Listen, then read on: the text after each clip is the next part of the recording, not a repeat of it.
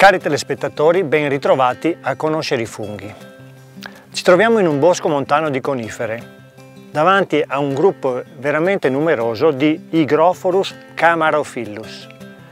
Questo Hygrophorus è piuttosto raro nel nostro territorio e difficilmente è possibile trovarne una raccolta così importante.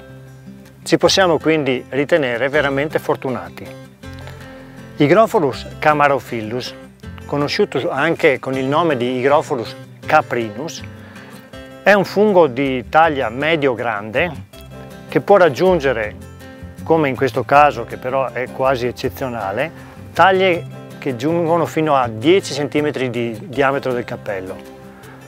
La colorazione è piuttosto scura sul bruno nerastro su tutta la superficie del cappello, superficie che appare liscia ma Osservandola attentamente si vede che è ricca di fibrille disposte radialmente, fibrille nerastre che caratterizzano proprio l'aspetto superficiale del fungo.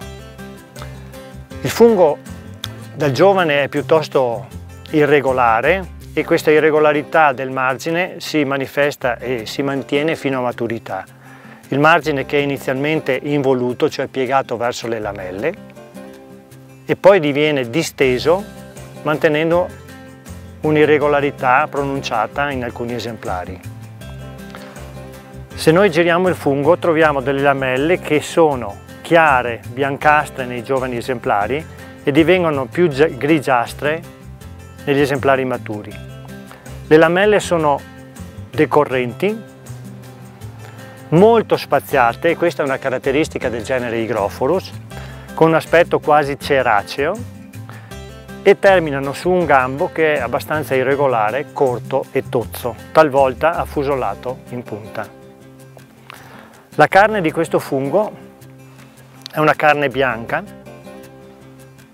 fibrosa, con odore molto debole fungino, sapore dolciastro ed è un fungo commestibile di discreta qualità.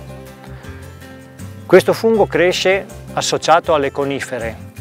Abbiamo conosciuto oggi Hygrophorus camarophilus, una specie commestibile dei boschi montani di conifera ed è tutto, ci rivediamo con una nuova puntata.